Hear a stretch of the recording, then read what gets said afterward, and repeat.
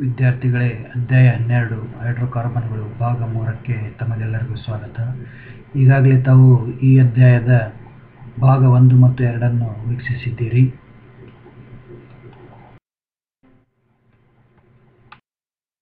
ಈಗಾಗಲೇ ನಾವು ಹೈಡ್ರೋಕಾರ್ಬನ್ಗಳ ಒಂದು ವರ್ಗೀಕರಣವನ್ನು ಗಮನಿಸಿದ್ದೇವೆ.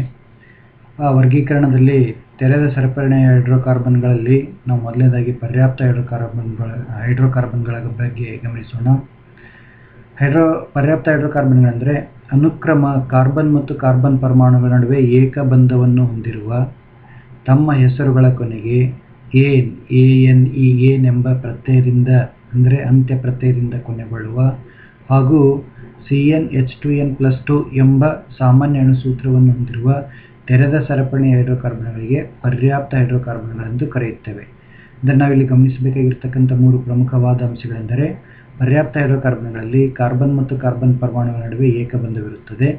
ಮತ್ತು ಈ ಪರ್ಯಾಪ್ತ ಹೈಡ್ರೋಕಾರ್ಬನ್ಗಳು ತಮ್ಮ ಹೆಸರುಗಳ ಕೊನೆಗೆ ಏನೆಂಬ ಪ್ರತ್ಯಯದಿಂದ ಕೊನೆಗೊಳ್ಳುತ್ತವೆ. ಹಾಗೂ C N H two N plus two ಎಂಬ ಸಾಮಾನ್ಯ ಅಣುಸೂತ್ರವನ್ನು ಹೊಂದಿರುತ್ತವೆ. ಈ ಪರ್ಯಾಪ್ತ ಹೈಡ್ರೋಕಾರ್ಬನ್ಗಳು, ಹೈಡ್ರೋಕಾರ್ಬನ್ಗಳನ್ನು ನಾವು ಅಲ್ಕೇನ್ಗಳು ಎಂಬ ಶ್ರೇಣಿಯನ್ನು ಹೊಂದಿವೆ. ಕಾರ್ಬನ್ ಮತ್ತು ಕಾರ್ಬನ್ ಪರಮಾಣುಗಳ ನಡುವೆ ಏಕಬಂಧವನ್ನು ಹೊಂದಿರುವ ಎಂಬ ಪ್ರತ್ಯಯದಿಂದ ಕೊನೆಗೊಳ್ಳುವ ಹಾಗೂ C N H two N plus two ಎಂಬ ಸಾಮಾನ್ಯ ಅಣುಸೂತ್ರವನ್ನು ಹೊಂದಿರುವ ತೆರೆದ ಸರಪಳಿಯ ಅಥವಾ ಅಲಿಫ್ಯಾಟಿಕ್ ಹೈಡ್ರೋಕಾರ್ಬನ್ಗಳಿಗೆ ನಾವು ಅಲ್ಕೇನ್ಗಳು ಎಂದು ಕರೆಯುತ್ತೇವೆ.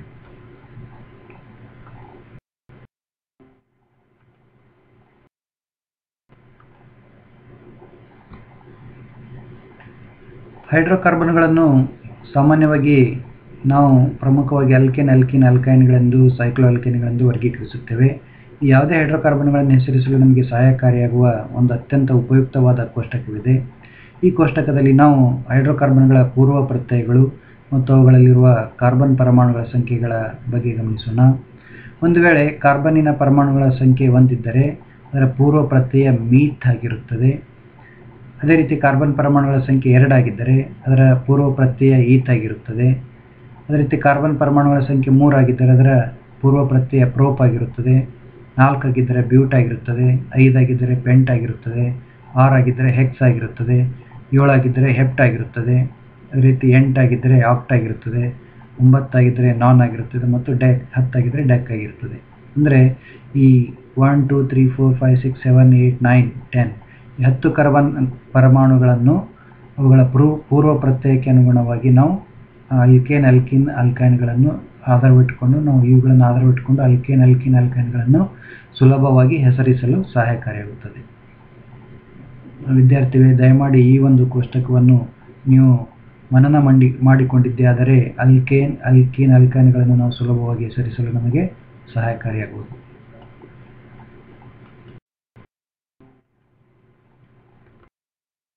ಅಲ್ಕೇನ್ಗಳನ್ನು ಹೆಸರಿಸಲು ಸಹಾಯಕಾರಿಯಾಗುವ ಒಂದು ಉಪಯುಕ್ತವಾದ ಕೋಷ್ಟಕವನ್ನು ನಾವು ಈಗ ಗಮನಿಸೋಣ.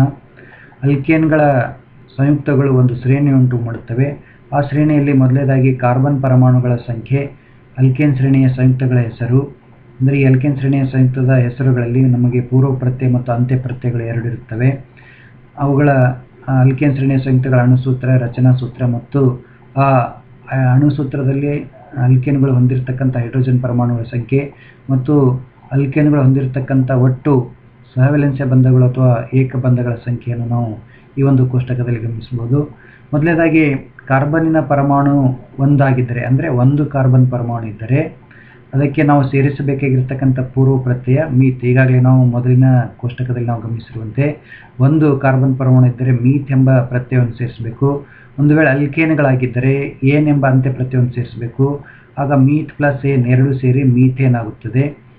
ಮತ್ತು ಈ ಮೀಥೇನನ್ನು ಮೀಥೇನ್ ಎಂಬ ಹೆಸರನ್ನು ಒಳಗೊಂಡಿರ್ತಕ್ಕಂಥ ಒಂದು ಅಲ್ಕೇನ್ ಶ್ರೇಣಿಯ ಸಂಯುಕ್ತದ ಸೂತ್ರ ಸಿ ಎಚ್ ಫೋರ್ ಅಂದರೆ ನಾವು ಈಗಾಗಲೇ ಸಾಮಾನ್ಯ ಅಣುಸೂತ್ರವನ್ನು ಕೂಡ ಗಮನಿಸಿದ್ದೇವೆ.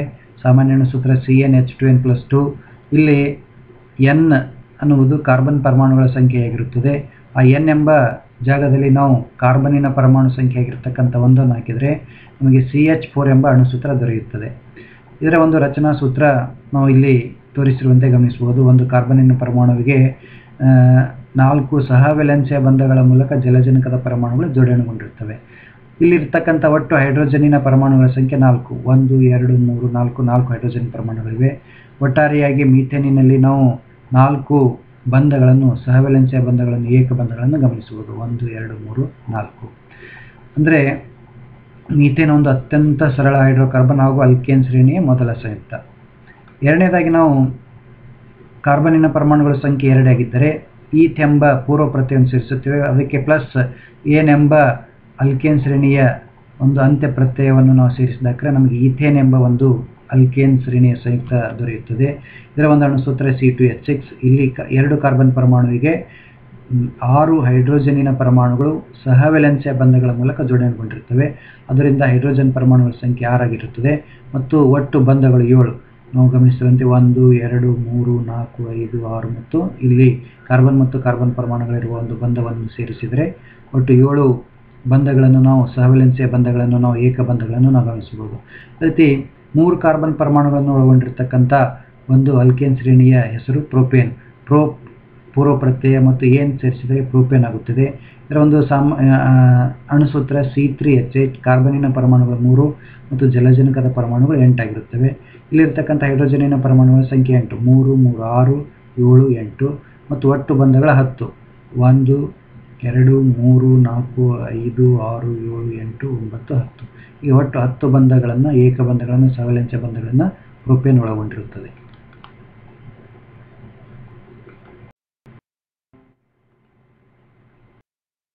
ರೀತಿ ನಾವು ಮುಂದಿನ ಒಂದು ಶ್ರೇಣಿಯ ಸಂಯುಕ್ತಗಳ ಬಗ್ಗೆ, ಅಲ್ಕೇನ್ ಶ್ರೇಣಿಯ ಸಂಯುಕ್ತಗಳ ಬಗ್ಗೆ ಗಮನಿಸಿದಾಗ, ಕಾರ್ಬನ್ ಪರಮಾಣುಗಳ ಸಂಖ್ಯೆ ನಾಲ್ಕಾಗಿರ್ತಕ್ಕಂಥ ಅಲ್ಕೇನ್ ಶ್ರೇಣಿಯ ಸಂಯುಕ್ತದ ಹೆಸರು ಬ್ಯೂಟೇನ್.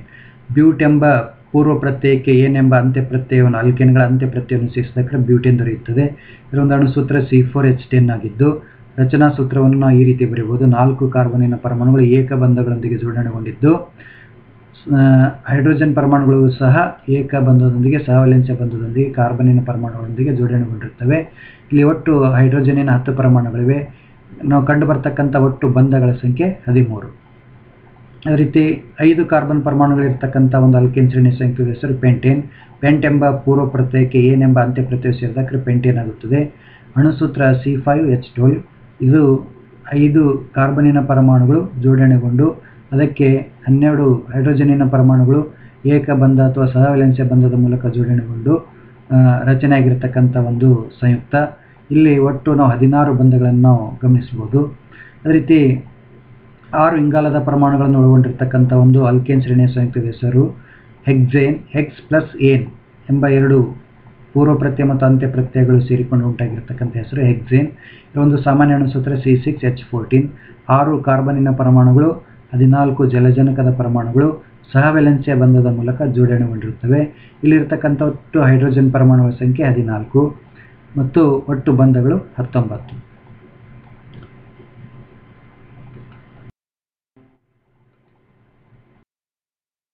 ಅಲ್ಕೇನ್ಗಳ ಒಂದು ಸಾಮಾನ್ಯ ಸೂತ್ರ C N H two N plus two ಇಲ್ಲಿ ಎನ್ ಎನ್ನುವುದು ಕಾರ್ಬನಿನ ಪರಮಾಣುಗಳ ಸಂಖ್ಯೆ. ನಾವು ಅಲ್ಕೇನ್ಗಳ ಗುಣಗಳನ್ನು ಗಮನಿಸಬಹುದಾದರೆ ಈ ಅಲ್ಕೇನ್ಗಳ ಗುಣಗಳನ್ನು ನಾವು ಈ ರೀತಿಯಾಗಿ ಅರಿತುಕೊಳ್ಳಬಹುದು ಅಥವಾ ತಿಳಿದುಕೊಳ್ಳಬಹುದು. ಅಲ್ಕೆನ್ಗಳಲ್ಲಿ ಕಾರ್ಬನ್ ಮತ್ತು ಕಾರ್ಬನ್ ಪರಮಾಣುಗಳ ನಡುವೆ ಏಕಬಂಧವಿರುತ್ತದೆ ಅದು ಸಹವಿಲೆನ್ಸಿಯ ಬಂಧವಾಗಿರುತ್ತದೆ. ಈ ಅಲ್ಕೆನ್ಗಳು ತಮ್ಮ ಹೆಸರುಗಳ ಕೊನೆಗೆ ಏನ್ ಎಂಬ ಅಂತ್ಯ ಪ್ರತ್ಯಯವನ್ನು ಹೊಂದಿವೆ. ಮೂರನೇದಾಗಿ, ಇವುಗಳ ಸಾಮಾನ್ಯ ಅಣುಸೂತ್ರ C N H two N plus two ಆಗಿರುತ್ತದೆ. ಇಲ್ಲಿ ಎನ್ ಎನ್ನುವುದು ಕಾರ್ಬನ್ನಿನ ಪರಮಾಣುಗಳ ಸಂಖ್ಯೆ. ನಾಲ್ಕನೇದಾಗಿ, ಇವುಗಳು ಕಡಿಮೆ ಕ್ರಿಯಾಶೀಲವಾಗಿರುವುದರಿಂದ ಇವುಗಳಿಗೆ ಪ್ಯಾರಾಫಿನ್ಗಳೆಂದು ಕೂಡ ಕರೆಯುತ್ತಾರೆ. ಅಂದರೆ ರಾಸಾಯನಿಕ ಕ್ರಿಯೆಗಳಲ್ಲಿ ಬಹಳ ನಿಧಾನವಾಗಿ ಭಾಗವಹಿಸ್ತಕ್ಕಂಥ ಪ್ರವೃತ್ತಿಯನ್ನು ಅಲ್ಕೆನ್ಗಳು ಹೊಂದಿರುತ್ತವೆ. ಅದಕ್ಕಾಗಿ ಕಡಿಮೆ ಕ್ರಿಯಾಶೀಲವಾಗಿರುವುದರಿಂದ ಇವುಗಳಿಗೆ ಪ್ಯಾರಾಫಿನ್ಗಳೆಂದು ಕರೆಯುತ್ತಾರೆ. ಈ ಅಲ್ಕೆನ್ಗಳು ಸಾಮಾನ್ಯವಾಗಿ ಸುಲಭವಾಗಿ ನೀರಿನಲ್ಲಿ ವಿಲೀನವಾಗುವುದಿಲ್ಲ, ಆದರೆ ರಾಸಾಯನಿಕ ದ್ರಾವಕಗಳಲ್ಲಿ ಸುಲಭವಾಗಿ ವಿಲೀನವಾಗತಕ್ಕಂಥ ಸಾಮರ್ಥ್ಯ ಹೊಂದಿರುತ್ತವೆ. ಈಗಲೇ ನಾವು ಗಮನಿಸಿರುವಂತೆ ರಾಸಾಯನಿಕ ದ್ರಾವಕಗಳೆಂದರೆ ಬೆಂಜಿನ್, ಕ್ಲೋರೋಫಾರ್ಮ್, ಈಥರ್ ಆಲ್ಕೋಹಾಲ್ಗಳು ಸಾಮಾನ್ಯವಾಗಿ ರಾಸಾಯನಿಕ ದ್ರಾವಕಗಳಾಗಿದ್ದು, ಈ ರಾಸಾಯನಿಕ ದ್ರಾವಕಗಳಲ್ಲಿ ಅಲ್ಕೆನ್ಗಳು ಸುಲಭವಾಗಿ ವಿಲೀನವಾಗತಕ್ಕಂಥ ಸಾಮರ್ಥ್ಯವನ್ನು ಹೊಂದಿರುತ್ತವೆ. ವಿದ್ಯಾರ್ಥಿಗಳ ಸಾಮಾನ್ಯ ಅಣುಸೂತ್ರಕ್ಕೆ ಸಂಬಂಧಿಸಿದ ಕೆಲವು ಸಮಸ್ಯೆಗಳನ್ನು ಪರೀಕ್ಷೆಗಳಲ್ಲಿ ಕೇಳುವ ಸಾಧ್ಯತೆಗಳಿರುತ್ತವೆ ಅಂತ ಒಂದೆರಡು ಸಮಸ್ಯೆಗಳನ್ನು ನಾವೀಗ ಗಮನಿಸೋಣ. ಅಲ್ಕೇನ್ ಒಂದರಲ್ಲಿರುವ ಕಾರ್ಬನಿನ ಪರಮಾಣುಗಳ ಸಂಖ್ಯೆ ಐದು. ಹಾಗಾದರೆ ಅದರ ಅಣುಸೂತ್ರ ಕಂಡುಹಿಡಿದ ಹೆಸರನ್ನು ತಿಳಿಸಿ ರಚನಾ ಸೂತ್ರವನ್ನು ಬರೆಯಿರಿ ಎಂಬ ಒಂದು ಸಮಸ್ಯೆ ಇದೆ. ಇದನ್ನು ನಾವು ಹೇಗೆ ಪರಿಹರಿಸಬೇಕು ಎನ್ನುವುದನ್ನು ಹಂತ ಹಂತವಾಗಿ ಗಮನಿಸೋಣ. ಮೊದಲನೇದಾಗಿ ಕೊಟ್ಟಿರ್ತಕ್ಕಂಥ ಅಂಶ ಎಂದರೆ ಕಾರ್ಬನಿನ ಪರಮಾಣುಗಳ ಸಂಖ್ಯೆ ಐದು ಅಂದರೆ ಕಾರ್ಬನಿನ ಪರಮಾಣುಗಳ ಸಂಖ್ಯೆ ಐದು ಕೊಟ್ಟಿದ್ದಾರೆ. ಅದು ಎನ್ ಈಸ್ ಈಕ್ವಲ್ ಟು ಐದಾಗಿರಲಿ ನಮಗೆ ಗೊತ್ತಿರುವಂತೆ ಅಲ್ಕೇನ್ಗಳ ಸಾಮಾನ್ಯ ಒಂದು ಅಣುಸೂತ್ರ C N H two N plus two ಆಗಿದೆ.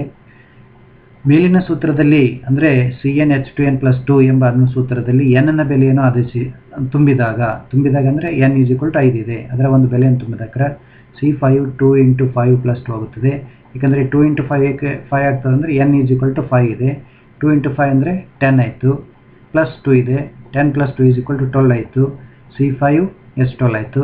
ಆದ್ದರಿಂದ ಸಿ ಫೈವ್ ಎಚ್ ಟ್ವೆಲ್ ಎಂಬ ಅಣುಸೂತ್ರವನ್ನು ಹೊಂದಿರುವ ಅಲ್ಕೇನ್ ಪೆಂಟೇನ್ ಇದರ ಒಂದು ರಚನಾ ಸೂತ್ರ ನಾವಿಲ್ಲಿ ಗಮನಿಸಬಹುದು. ಒಂದು, ಎರಡು, ಮೂರು, ನಾಲ್ಕು, ಐದು ಕಾರ್ಬನ್ ಪರಮಾಣುಗಳಿದ್ದು, ಹನ್ನೆರಡು ಜಲಜನಕದ ಪರಮಾಣುಗಳು ಸಹವಲೆನ್ಸಿಯ ಬಂಧದೊಂದಿಗೆ ಏಕಬಂಧದೊಂದಿಗೆ ಜೋಡಣೆಗೊಂಡಿರುತ್ತವೆ.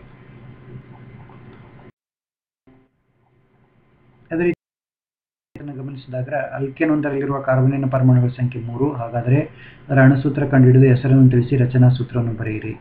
ಇಲ್ಲಿ ಕೊಟ್ಟಿರ್ತಕ್ಕಂಥ ಈ ಒಂದು ಸಮಸ್ಯೆಯಲ್ಲಿ ಕೊಟ್ಟಿರ್ತಕ್ಕಂಥ ಪ್ರಮುಖವಾದ ಅಂಶ ಅಂದರೆ ಕಾರ್ಬನಿನ ಪರಮಾಣುಗಳ ಸಂಖ್ಯೆ ಅಂದರೆ ಎನ್ ಇಸ್ ಈಕ್ವಲ್ ಟು ಮೂರಾಗಿದೆ ನಮಗೆ ಗೊತ್ತಿರುವಂತೆ ಅಲ್ಕೇನ್ಗಳ ಸಾಮಾನ್ಯ ಸೂತ್ರ C N H two N plus two ಇಲ್ಲಿಯೂ ಕೂಡ ಈ ಸೂತ್ರದಲ್ಲಿ ನಾವು ಎನ್ ಬೆಲೆಯನ್ನು ತುಂಬಿದಾಗ C three H two into three plus two ಆಗುತ್ತದೆ.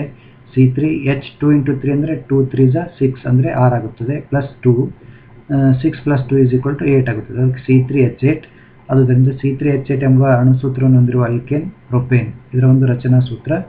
ಒಂದು, ಎರಡು, ಮೂರು ಕಾರ್ಬನ್ ಪರಮಾಣುಗಳನ್ನು ಒಳಗೊಂಡಿರ್ತಕ್ಕಂಥ ಒಂದು ಅಣು. ಅದಕ್ಕೆ ಎಂಟು ಜಲಜನಕದ ಪರಮಾಣುಗಳು one two three four five six seven eight ಎಂಟು ಜಲಜನಕದ ಪರಮಾಣುಗಳನ್ನು ಒಳಗೊಂಡಿರುತ್ತದೆ. ಅದರ ಒಂದು ರಚನಾ ಸೂತ್ರವನ್ನು ಈ ಕೆಳಗಿನಂತೆ ನಾವು ಬರೆಯಬಹುದು.